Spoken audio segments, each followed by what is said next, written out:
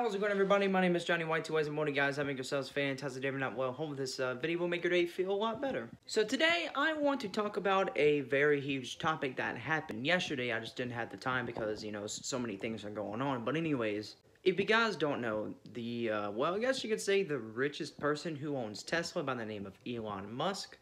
Well, if you guys don't know, if you use Twitter, he has bought Twitter. A lot of people are wondering, what's going to happen? Is there going to be new rules? Is there going to be Tesla emoji? Is there going to be a whole bunch of random selections of roles of Twitter? Now, according to some sources, now, I do not know if it's a 100% fact.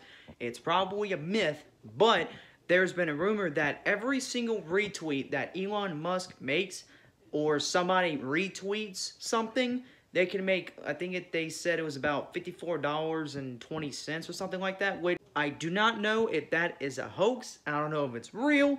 You guys let me know in the comment section below. So whenever he did buy Twitter, I thought to myself, now this can't be real, right? And if you guys remember a couple years ago, he said or something about that he liked Twitter, and then somebody replied to him saying, oh, would you buy Twitter? And then he responded with, how much would it cost?